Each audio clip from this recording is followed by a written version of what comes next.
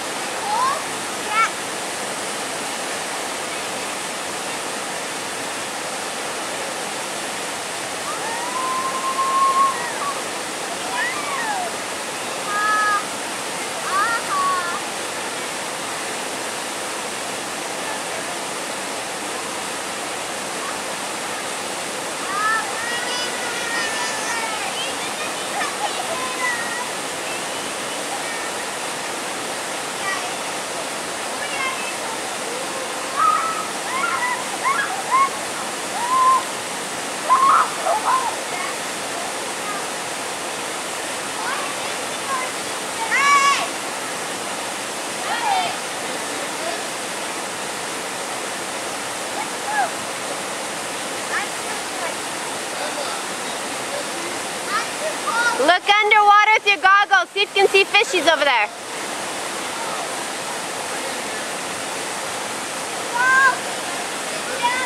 Ouch.